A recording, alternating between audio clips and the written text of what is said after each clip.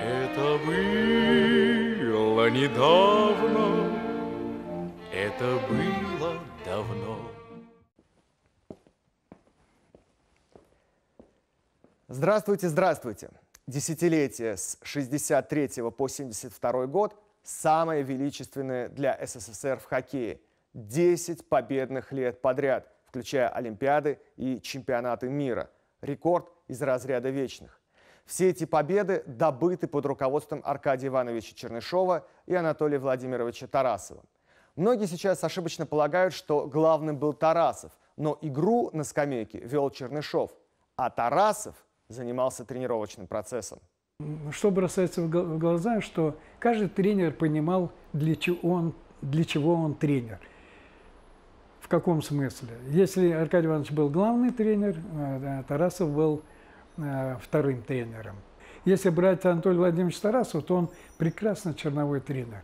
Потому что с Тарасовым было очень интересно, э, так сказать, работать на льду. Он сам на льду одевал форму, не форму, а рубашку игровую одевал, колюшку, шапочку. Аркадий Иванович э, больше, так сказать, был, находился за бортом и подзывал, собственно, когда шло учебно-тренировочное занятие, он подзывал пятерку, говорил ей, что нужно э, э, делать, С великим дуэтом связана судьба одного знаменитого игрока и впоследствии выдающегося специалиста, динамовца Владимира Юрзинова. Ему не довелось сыграть в Вене, помешали и не в первый раз хронические травмы. Но методы, принципы тандема он изучил и творчески переосмыслил.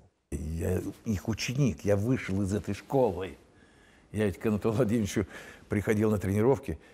Я говорю, Анатолий Владимирович, можно я поприсутствую? Ну ладно, значит, давай. Вот, вот он со мной, значит, это все показывает. Тут же ко мне подходит Рагулин Сашка. А я уже начал тренер. Он говорит, Володя, уходи отсюда. Я говорю, что, Саш? Мотай отсюда. Я говорю, что, Саш? Ну ты же знаешь, сейчас он гонять нас начнет. То есть для Анатолия Владимировича, если один зритель, это уже все, не спектакль. Понимаете? А если я еще пришел, значит, это ребята уже там пошли опять, значит, с блинчиками, значит, они, значит, на кувырочке, и все это, это уже спектакль, значит, ну вот молодой пришел к мэтру, значит, за знаниями, ну-ка покажем ему. И вот эти мои, значит, друзья говорят, кати отсюда, потом я уже раз, раз, раз и укатывал. То есть я учился у них. Сочетание Аркадия Ивановича и Анатолия Владимировича дало просто очень сильный тандем. Я думаю, что у нас больше такого не получилось тамбе- тандема в сборной, чтобы, э, чтобы именно э, таким образом вести э, нашу команду. Где-то близко был тандем э, Юрзинов и э, Тихонов. Где-то близко. Но я не скажу, все равно они уступали тандему Чернышова и Тарасова. Уравновешенность характера Чернышова, она передавалась игрокам. То есть он не дергался, и мы-то не дергались. Но Тарасов ведь э, его, это искусство, это, понимаете, это вообще тренер, который, в общем-то, мог из человека, понимаете, вот его возможности, способности он мог развить до на 150 процентов. Кому это? По-моему, Павлу Сергею Павловичу пришла эта мысль их соединить, потому что они один приходил, второй уходил, а вот когда они в паре, я скажу, это вообще, это вообще феноменальный был. Вот мы играем, и, значит, там так, с канадцами, по-моему, там на турнире, и вот так подбегает к Аркадию Ивановичу, там Тарасов вот так в стороне, он так к нему говорит, Адя, Адя, там удаление, судья хватает нас там вчетвером, М, оставляет нас. Адя, Адя, Роме готов, Роме готов, то есть Ромишевский готов. Он говорит, да, ну ладно, говорит, давай, давай там, Виталий, давай, давай, на это, на лед. Потом втро- втроем там, он опять Владимирович. Адя, Адя, Ромик готов. Так поворачивается, «Да иди ты со своим Ромиком. Все уже ни Адика, ни Антона нет уже, значит, они сидят по разные стороны. Мы уже так притихли, ходим. Чемпионат мира 1967 года в Вене – завершение первой победной пятилетки сборной Союза. Тогда же жизнь пятилетками измеряли. Пять раз подряд ранее побеждала только Канада. И то еще до Второй мировой войны. После Второй мировой войны Канада потеряла единоличную гегемонию в мировом любительском хоккее, однако еще полтора десятка лет продолжала оставаться ведущей силой. Вплоть до 1961 года, когда родоначальники игры выиграли свой 19-й мировой титул.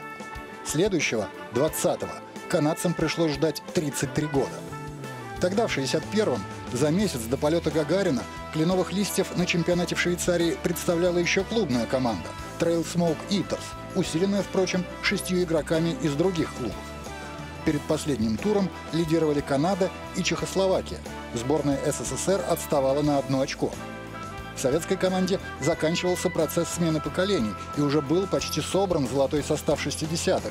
Но в Женеве сборная, которую вместе с Аркадием Чернышовым возглавляли Анатолий Кострюков и Александр Виноградов, с канадцами не справилась. В первом периоде североамериканцы открыли счет, ко второму перерыву увеличили перевес до трех шайб, а в заключительном периоде до четырех. Четыре гола организовала у канадцев связка Маклеод Джонс. Одну ответную шайбу забросил Борис Майоров, ставший лучшим бомбардиром чемпионата и вошедший в символическую сборную, единственный из советских игроков. Канада выиграла 5-1 и стала чемпионом, опередив Чехословакию по разности шайб. А сборная СССР показала свой худший по тем временам результат на чемпионатах мира, заняв всего лишь третье место. Тогда трудно было представить, что свою следующую победу над советскими хоккеистами канадцы одержат только в 1985 году, почти четверть века спустя несмотря на то, что в начале 60-х они перестали посылать на мировые турниры лучшие клубы и специально готовили сборную команду. Пионером этой идеи стал отец Бауэр, католический священник и по совместительству хоккейный энтузиаст, который, к слову, много позже был введен в зал хоккейной славы.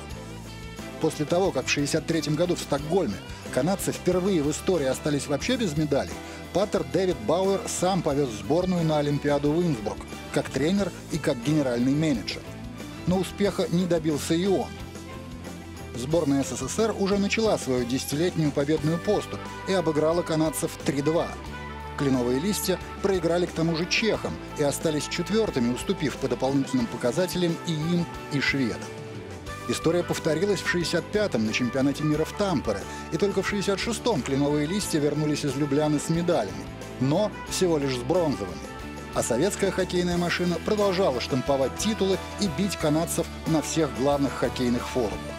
Вот тогда-то родоначальники игры и стали настаивать на допуске к мировым чемпионатам профессионалов. И для начала добились права включать в состав бывших игроков Национальной хоккейной лиги. На чемпионате мира 1967 года таковыми стали Карл Бревер и Джек Боунес. После чемпионата мира в Вене чуть ли не половина сборной Канады заиграла в НХЛ. 1967 года в лиге как раз начинается эра расширения. Вместо шести команд сразу 12. Классных игроков не хватало. Канаду по-прежнему считали главным оппонентом на чемпионате мира, хотя потянулись и чехи, и шведы – Зимой 67-го был турнир в Виннипеге, посвященный столетию образования Канады, Союза четырех провинций. Хозяева его выиграли. На чемпионате мира сборная СССР намеревалась взять реванш у основоположников хоккея, которые по-спортивному раздражали.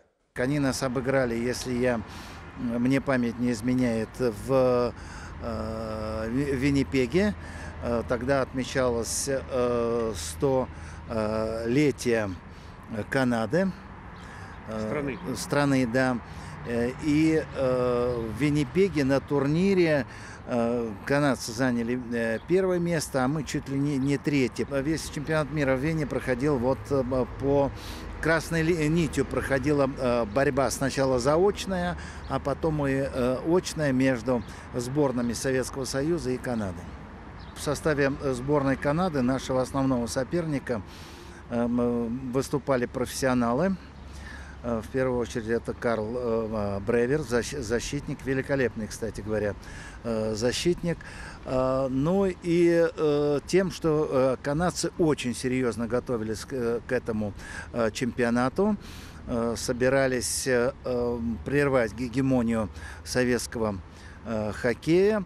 И э, мы недаром считали, что это основной наш э, соперник. Конечно, команда, в общем-то, по силе Ее нельзя было сравнить там с командой 72 года, это понятно.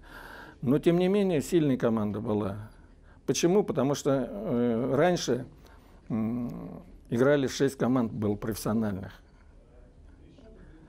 И остальные игроки, которые не попадали, а туда попасть в профессиональную команду было очень сложно. У этих игроков, конечно, да, они попадали, может быть, но уровень игры был очень высокий.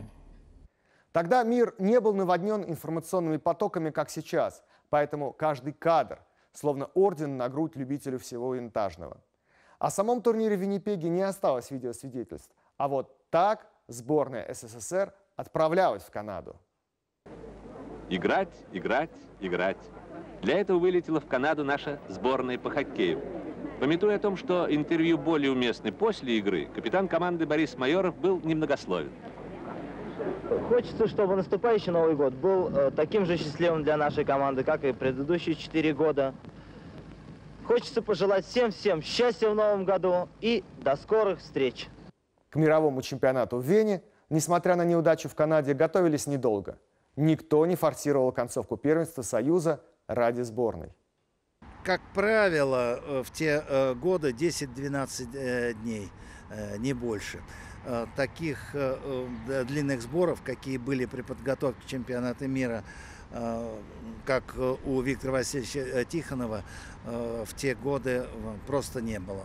Мы тренировались во Дворце спорта ЦСКА на Ленинградском проспекте, старенький еще был дворец. Ну, тогда он был э, относительно молодой, он был построен в 61 или в 62 году, точно э, не помню. Э, сборная всегда там тренировалась, а жили мы на базе ЦСКА в Архангельском. Причем это было, было старое здание, бывшая конюшня, почему э, и э, армейцев э, называли довольно часто конюшни. На чемпионате мира в Вене впервые в истории можно было включать в заявку, помимо двух вратарей, три полных пятерки и еще одного запасного игрока на подмену. Для Александра Якушева нововведение обернулось большой удачей. Честно говоря, в общем-то, в большей степени это случайно произошло, потому что вот когда у нас закончился перерыв и команда начала готовиться к чемпионату мира, то э, там в расширенном, ну не такой большой был список расширенных игроков, расширенный состав, э, я не попадал. И, в общем-то, жил дома, уже перерыв вроде бы там, все жили дома, и только вот игроки первой сборной находились на сборах. Не то, что мечты, а вообще даже не предполагал, что я мог там попасть в сборную Советского Союза, потому что ну, там играли, три, в три звена раньше играли. А левый крайний в той сборной Фирсов, Майоров Борис и Вениамин Александров. То есть там ни, никак не, не проходной был по этим показателям, даже по этим сравнить игроки, да. Вот. И я вообще, честно говоря, не мечтал. Вот. И потом, когда они уже сидели на сборах, ну, нужна была для них э, товарищеская игра для сборной СССР спаринг партнер нужен был. Ну, в общем-то, обзвонили игроков, собрали, ну, типа второй сборной, да, собрали. Все приехали, мы из дома все приехали, там непонятно, кто как э, время проводил, и сыграли против первой сборной. И вот после этой игры мне сказали, что надо поехать на сборы, э, готовиться к чемпионату мира. Сейчас сочетание игроков что в клубах, что в сборной постоянно меняются. А тогда тренеры стремились к постоянным величинам. В 65-м в Тампере и в Любляне в 66-м практически одинаковой результативностью блеснули связки. Армейская, Альметов и Александров, и Спартаковская, Майоров-Старшинов, в придачу с Анатолием Ионовым. Центры и левые форварды в этих звеньях остались, но изменились правые нападающие. В Любляне Константин Локтев был признан лучшим форвардом, но из-за травм завершил карьеру. Вместо него в первом звене на чемпионате мира сыграл универсал Виктор Якуш. Для Александра Альметова венский чемпионат станет последним в 27 лет из-за увлечения бурными застольями, по его собственному признанию. Через месяц после возвращения из Вены в Москву армейцы уступают чемпионский титул «Спартаку». По сути, на этом завершается история блистательного армейского звена «тройки академиков», как его называли. После 1964 года тренеры сборной постоянно решали вопрос, кого вместо Евгения Майорова поставить во вторую, спартаковскую тройку, брату Борису Майорову и Вячеславу Старшинову. Во время канадского турне тренеры успешно делегировали к ним Анатолия Фирсова, в прошлом выступавшего за красно-белых. Но, по словам Анатолия Тарасова, Борис Майоров альтруистически предложил наигрывать Фирсова в сочетании с молодыми для пользы сборной. Сам Майоров подобную беседу категорически отрицает. Вот ведь историческая загадка получается. Тарасов и Чернышов всю свою карьеру в сборной удивляли хоккейный мир неожиданными решениями. Новая тактическая схема, изобретение и внедрение знаменитой системы или такого понятия, как хоккейный полузащитник. Но были и обязательные новинки, которые приходилось делать накануне каждого чемпионата мира или Олимпиады. Определять ударное звено, поскольку от него, как правило, зависел не только результат какого-то конкретного матча, но и всего чемпионата. В Инсбруке в 64-м роль лидеров, как и планировалось, отработали армейцы Локтев, Альметов, Александров. В 65-м в Тампере и в 66-м в Любляне они показали практически одинаковую результативность и надежность со Старшиновым, Борисом Майоровым и Ионовым. Но к Венскому чемпионату впервые за несколько лет полной ясности с ударным звеном не было. Долгое время тройка Локтев, Альметов, Александров была первой во всех смыслах – самый сыгранный, самый эффектный и эффективный. Именно она, по признанию самого Тарасова, первой начала играть в хоккей, который можно было назвать интеллектуальным, о котором он всегда мечтал. Но после Любляны из-за травм закончил карьеру Константин Локтев, и рисунок игры армейской тройки стал меняться. Куда-то ушла легкость, с которой она сметала любого соперника, меньше повышенных стали брать на себя Александров с Альметовым. Поэтому в столицу Австрии это звено, где Локтева заменил универсал Виктор Якушев, ехало, оставаясь первым лишь номинально. Так закончился один блистательный тренерский эксперимент. Но удивительным образом это совпало с кульминацией следующего, тоже связанного с созданием совершенного хоккейного оружия. Главным бенефициантом в Вене стала третья, или, как ее тогда называли, молодежная тройка под управлением Анатолия Фирсова. Те, кто воспринял это как случайность, глубоко ошибались. Неугомонный Тарасов шел к этому результату несколько лет. В «Спартаке» Фирсов играл центра, но в ЦСКА он в этом качестве толком проявить себя не мог при всем желании, элементарно не хватало мышечной массы. И Тарасов выписал универсальное лекарство, на несколько месяцев сослал его в тяжелый атлетический зал.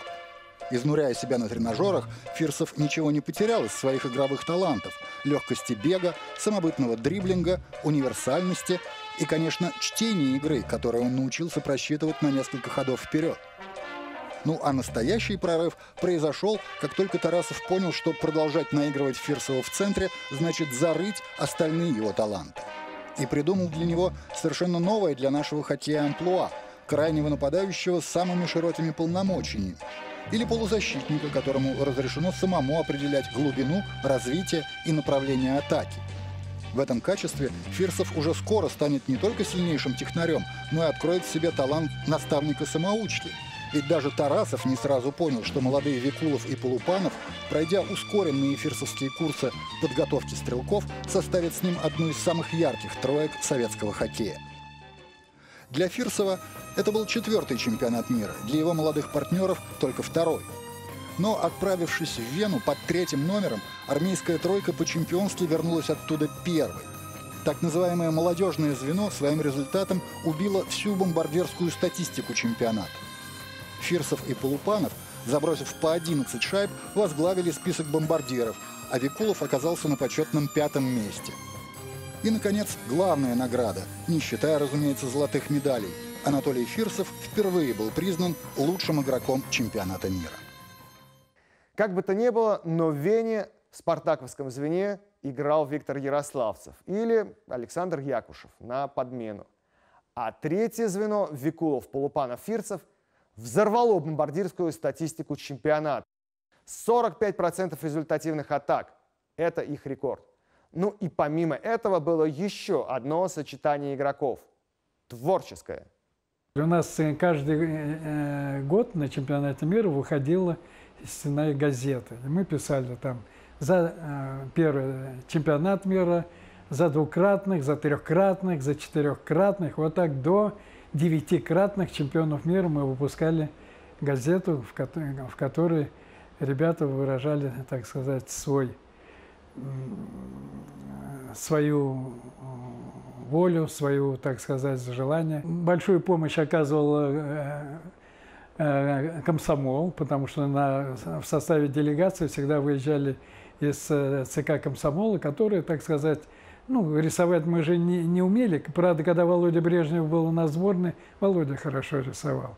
А так Фирсов, Старшинов и я, мы, так сказать, возглавляли эту газету. Редактором был этой газеты я. Ну, на оперу времени, естественно, э, не оставалось. Насколько я э, помню, была экскурсия по э, Вене. И в свободный от игр день такую разрядку нам тренеры дали. Мы всей командой отправились на рыбалку. Работники посольства и торгпредства. Это был конец марта. Как раз рыба шла на нерест. Ловилась вовсю, особенно окунь. Э, ну и мы уж там э, на э, каком-то не притоке, а на каком-то заливе Дуная отвезли душу. Свободное время у Тараса Чернышева практически не бывает. Потому что не бывало, да, потому что, в общем-то, много было тренировочного процесса, теоретических занятий, поэтому, как правило, свободное время может быть только после ужина и ходили в кинотеатр. Ну, как правило, в кинотеатр ходили на исторические музыкальные фильмы. У нас был по этому вопросу главный Александр Павлович Рагулин и Анатолий Владимирович Тарасов. Значит, ну что, Павлович, как, куда нас сегодня повезешь, поведешь? На какой фильм? Историческо-музыкальный. И вот искали все исторически музыкальные. Там была э, группа туристов, человек 20-25, э, наверное, э, очень солидная э, группа э, поддержки. Э, Вячеслав Васильевич Тихонов, э, Станислав Иосифович Ростоцкий, знаменитые на, э, наши режиссеры, э, актер Николай Рыбников. Мы общались, я вот в частности общался э, с Вячеславом Тихоновым э, после игры, когда он, он же болельщик Спартака был, я помню, он подошел после одной из игр и говорит, Саша, пока молодой, веди, веди дневник, все записывай, все записывай, потом тебе это очень пригодится, поверь мне. Ну, э, к сожалению, вот я не послушался его совета, а действительно это бы было очень здорово, конечно. В составе группы поддержки на чемпионате мира был актер Николай Рыбников. Он не чужой человек в спорте. Играл главную роль тренера Ложкова в фильме «Хоккеисты». А их надо держать вот так вот. Ты думаешь, действительно они идут в кино? Наверняка какие-нибудь шашни с девчонками. Пока мы не избавимся от спирантовского либерализма, дело не пойдет. И все это надо начинать со стариков. Надо избавиться от Кудрича, от Самсонова, да где-то, наверное, от Дуганова. Дуганова? Да-да. Все это звено уже не тянет. Кино вышло на экраны за три года до чемпионата мира. Хоккей вместе с космосом – предмет национальной гордости и новая живая тема в искусстве. Песня, которая особо сейчас актуальна, правда, я ее написал год назад, но это не имеет значения, надо только переделать цифры. Дело в том, что это песня о хоккеистах. Эту песню написал я в прошлом году после, игры СССР-Канада в хоккей, тогда, когда был 2-1 счет. Игра была трагичной очень. Все беспокоились до игры, что канадцы сильнее физически подготовлены, потому что они профессионалы, у них там есть несколько профессиональных игроков, и они якобы наших ребят просто побьют обязательно. Но вот после игры мы все во время игры убедились, что все наоборот. Вот, ну не наоборот, но на равных во всяком случае. И игра кончилась нашей победой. И в пятый раз наши ребята стали чемпионами мира. Я в этом году очень беспокоился, в основном даже не по поводу того, что проиграют, хотя это тоже было, а по поводу того, что придется новую песню писать. Но не пришлось, надо просто пять поменять на шесть, и все становится на место. Профессионалы в своем Монреале пускай разбивают друг другу носы, но их представитель, хотите, спросите. Недавно заклеен был в две полосы, сперва распластан, а после пластырь, а их не пастор. Ну как назло, он перед боем знал, что слабоем, молились строем, не помогло. Именно в 67-м Владимир Высоцкий написал песню «Профессионалы», как раз про венские события. Вот доказательства по пунктам. Впервые на чемпионат мира приехали профессионалы, пусть и с оговорками. Строчка. Сперва распластан, а после пластырь – это про Бревера. Ему разбили глаз в матче с СССР. Третий период он играл весь заклеенный. Третий пункт. А их не пастор, ну как назло, это про патера Дэвида Бауэра, который, собственно, и создал в первой половине 60-х любительскую сборную Канады и потом на многих турнирах был тренером и менеджером. В-четвертых, прямое свидетельство уже пятикратно уходит вперед именно про пятую подряд победу, то есть 67 год, а никакой не 72-й, как считают многие. Заблуждаются, думают, Высоцкого вдохновила суперсерия профессионалам по всяким каналам То много, то мало на банковский счет. А наши ребята за ту же зарплату Уже шестикратно уходят. Вперед Пусть в высшей лиги плетут интриги И пусть канадским зовут хоккей. За нами слово, до встречи снова А футболисты до лучших дней Первые пять матчей – пять побед, в том числе над шведами 9-1, с которыми в 66-м сыграли в ничью. СССР-Канада в предпоследнем туре. СССР, если выигрывает, досрочно становится чемпионом. Канада, если выиграет, выходит на первое место с отрывом в одно очко. Новое звено Викулов, Полупанов, Фирцев на тот момент самое результативное. Полупанов два раза забивал по четыре шайбы. Но у канадцев сильный вратарь Сет Мартин. Он несколько раз признавался лучшим вратарем на чемпионатах мира. Вот там вратарь этот Мартин тоже, он в профессионалах вроде не играл, но вратарь очень хорошего уровня.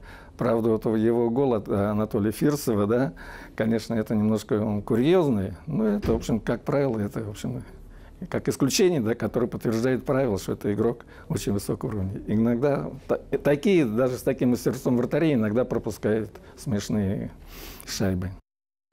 Сет Мартин впервые приехал на чемпионат мира в 1961 году в составе любительской команды Trail Smoke Eaters, представлявшей Канаду. Ему было 27 лет, самый расцвет карьеры, и он не только стал чемпионом, но и был признан лучшим вратарем. И тем не менее, клубы НХЛ, коих тогда было всего шесть, не торопились предлагать ему контракт. Мартин еще долго оставался любителем и при этом лучшим в своем амплуа. Болельщики называли его не Сет, а Сид, что значит «кипящий», «бурлящий». Титул первого вратаря чемпионата мира Мартину присуждали четыре раза, а журналисты трижды включали его в символическую сборную, хотя Канада ни разу больше не поднималась выше третьего места, а то и вовсе оставалась без медалей. И только в 1967-м, когда Национальная хоккейная лига пополнилась еще шестью клубами, Мартин дебютировал в профессионалах, сыграв 30 матчей за Сент-Луис Блюз, который, к слову, в первый же свой сезон дошел до финала Кубка Стэнли. Затем, однако, перед вратарем стал выбор – продолжить НХЛовскую карьеру или сохранить свою пенсию по основной специальности. Он был пожарным. Мартин выбрал второе, тем более, что останься он в Сент-Луисе, ему пришлось бы конкурировать за место в воротах с двумя великими голкиперами – Гленном Холлом и Жаком Плантом. Карл Бревер, напротив, приехал в Вену, уже немало поиграв в НХЛ. За его плечами было 8 сезонов в Торонто Мэйпл Ливс и 3 Кубка Стэнли. У него была репутация игрока, чьи действия никто не мог предсказать ни на льду, ни вне его. Он был незаменимым защитником команды «Династии», при этом дважды набирал больше всех штрафных минут в лиге, потому что любил наказывать соперников за примененные против него силовые приемы.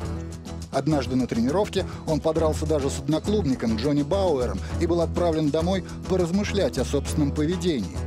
Размышления привели к тому, что Бревер вовсе оставил профессиональный спорт и поехал играть за Канаду на чемпионат мира. В Вене Карла включили в символическую сборную, как одного из лучших защитников чемпионата. Впечатление произвело не только его мастерство, но и изрядное мужество. Большую часть решающего матча против сборной СССР Бревер играл с абсолютно заплывшим глазом. Впоследствии на чемпионатах мира он больше не появлялся. Во время недолгой учебы в Финляндии был играющим тренером хельсинского ИФКО, а в 69-м вернулся в НХЛ и отыграл еще три сезона за Детройт и Сент-Луис, после чего примкнул к новообразованной Всемирной хоккейной ассоциации. И это было не последнее его возвращение в большой хоккей. В 41 год, после шестилетней паузы, он еще сыграл 20 матчей за свой родной Торонто. Два года подряд Канаду обыгрывали с крупным счетом 4-1 и 3-0. В Вене пришлось изрядно помучиться. Канадцы почти полтора периода вели, а потом случилась шальная шайба Фирсова. Был очень продолжительный отрезок, уже, ну, как мы говорим, уже на поле накушались. Поэтому он вышел, пересек синюю линию, из своей зоны вышел, и шайбу парашют, он же не, не щелкнул там шайбу эту или там низом бросил, он кинул парашютик просто э, э, через э, Э, и побежал, так сказать, э, на лавочку. И пока эта шайба летела, он к борту подбежал, а там уже за бортом уже ребята его в обнимку хватает его, что... Поэтому он в попыхах он и не понял даже, что сделал. А там выкатывался у Мелли, защитник, ловить шайбу ее. И она ему по перчаточке, и Мартин на, парашют на это тоже стал выкатываться, а Мелли стал ее ловить.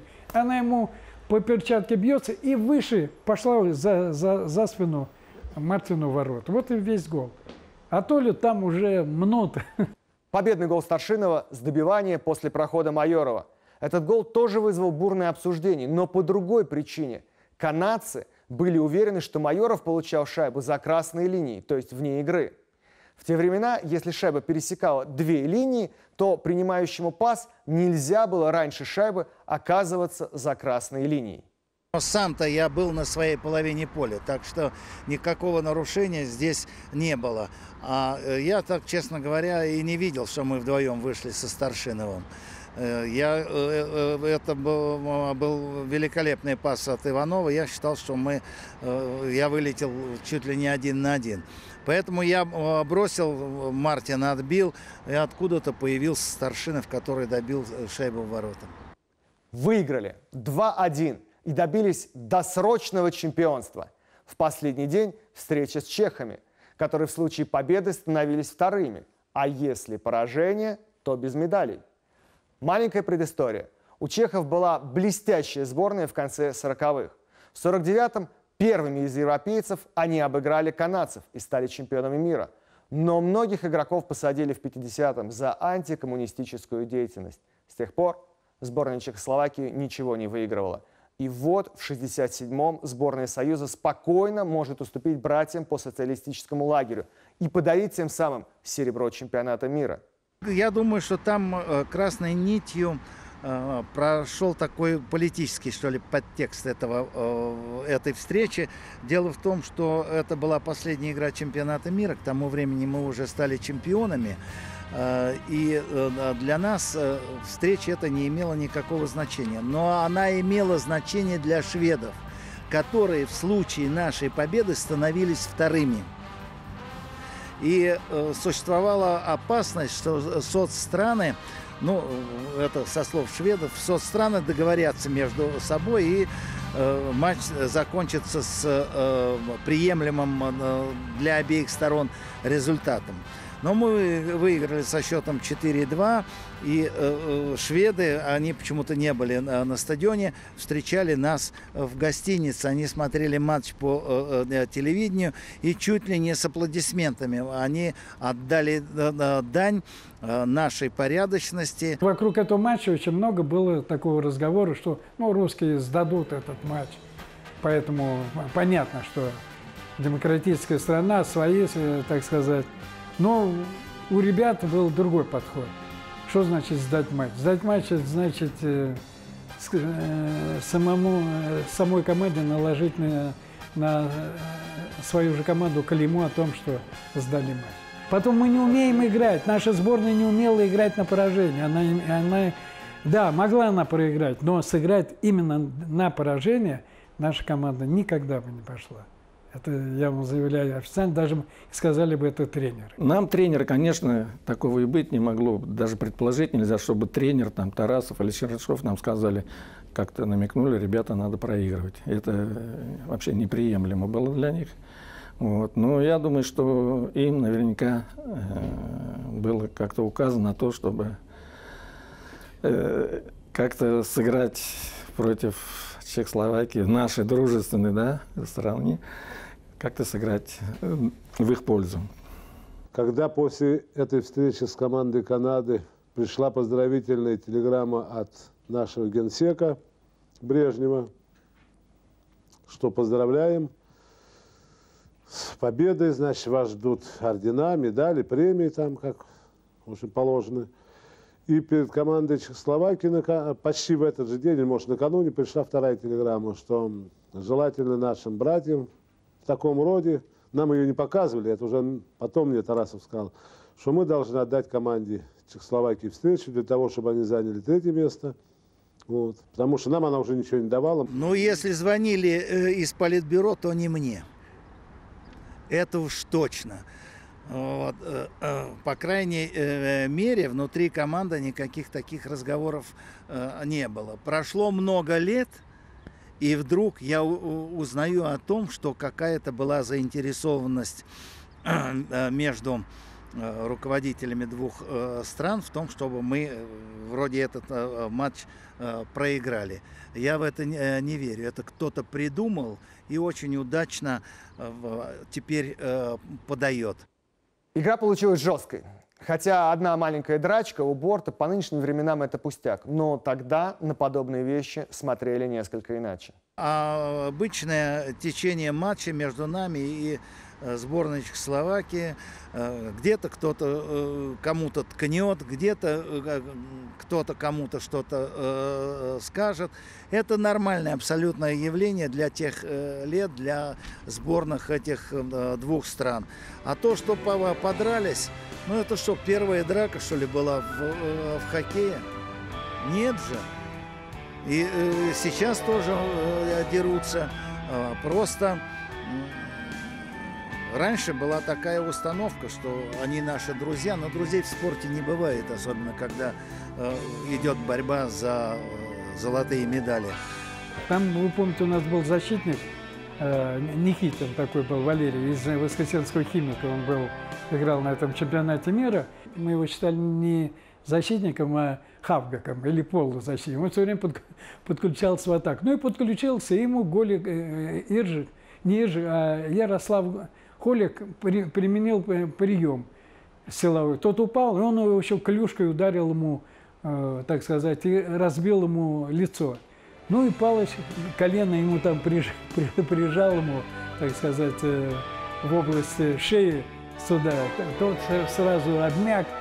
Ну а в это время этот матч транслировался э, по телевидению, а светское телевидение дало в полной картинке, картинке, так сказать, передачу на СССР. А в это время э, президент Чехословакии гостил, был в гостях у Брежнева. И они это все дело видели.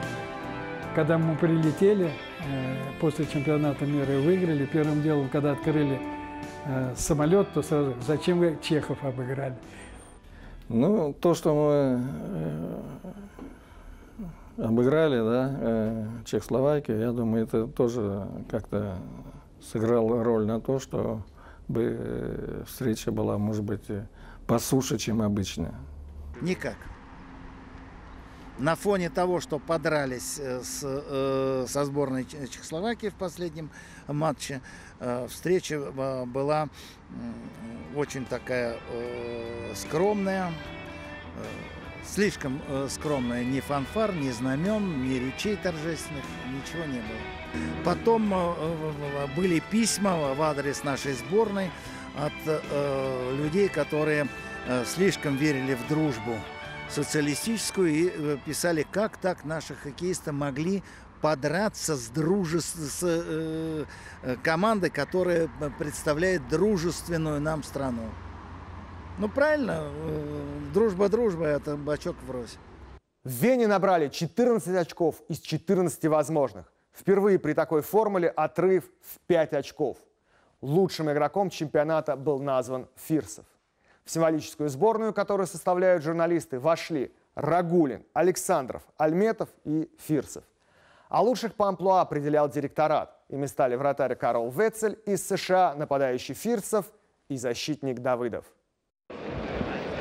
Э, я был в знак э, того, что хозяева были очень гостеприимны к участникам чемпионата мира.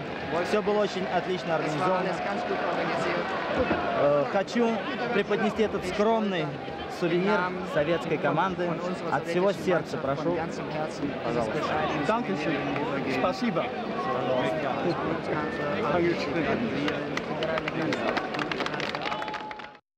Те времена завораживают не только выдающимися результатами, но и искренностью эмоций. С одной стороны, игроки были популярны словно космонавты. С другой стороны, это настоящие парни из соседнего двора. Вот, убедитесь сами. Вот они, герои ледовых сражений, пятый раз подряд завоевавшие в борьбе с сильнейшими противниками высокий титул чемпионов мира. Славу победителей по праву разделяют тренеры команды Аркадий Чернышов и Анатолий Тарасов. У нашего микрофона капитан сборной СССР Борис Майоров. Очень приятно встретиться с вами, со всеми здесь, у себя на родине. Тем более нам приятно, что мы приехали с победой. Мы знали, что за нас здесь переживают, за нас волнуются. Очень приятно выиграть. И я думаю, что мы на следующий год тоже постараемся обязательно выиграть. Просмотр хоккея, которому уже почти полувека, наверное, не у всех вызовет бурный эстетический восторг. Его динамика, драйв вряд ли повысит ВВП страны в два раза. Но добрая ностальгия – весьма приятное чувство. Ведь тогда, в 67-м, деревья были выше и зеленее, девушки красивее, а крюки у клюшек советских игроков были не загнутыми. Всего хорошего. Когда эта программа готовилась к эфиру, пришла печальная весть о смерти Владимира Викулова. Он играл в «Великой тройке», одной из лучших за всю историю советского хоккея, и был равным своим выдающимся партнерам. Не только потому, что стал одним из лучших снайперов среди всех наших крайних нападающих. В чемпионатах страны за 520 игр он забросил 283 шайбы, а за сборную на чемпионатах мира и Олимпиадах показал и вовсе фантастическую результативность – 53 шайбы в 75 матчах. Но главным его достоинством был талант идеального ассистента. Благодаря филигранной обводке он с легкостью Тореадора уходил от любого соперника и без видимых усилий оказывался на голевой позиции. Но не бросал поворотом сам, а дарил это право партнеру. И в этой викуловской щедрости одна из главных причин того, что супербомбардирами стали Виктор Полупанов и Анатолий Фирсов. К сожалению, как и многие звезды того времени, он не сумел найти себя в жизни после спорта. Почему? До этого уже, наверное, не докопаться – но была в этом и какая-то закономерность. В свое время за непредсказуемость действий на площадке товарищи по команде дали ему прозвище «Хитрец». Вроде бы звучит громко, но среди болельщиков оно отдачу важнее, чем отличиться самому. Так может поступать только неисправимый романтик.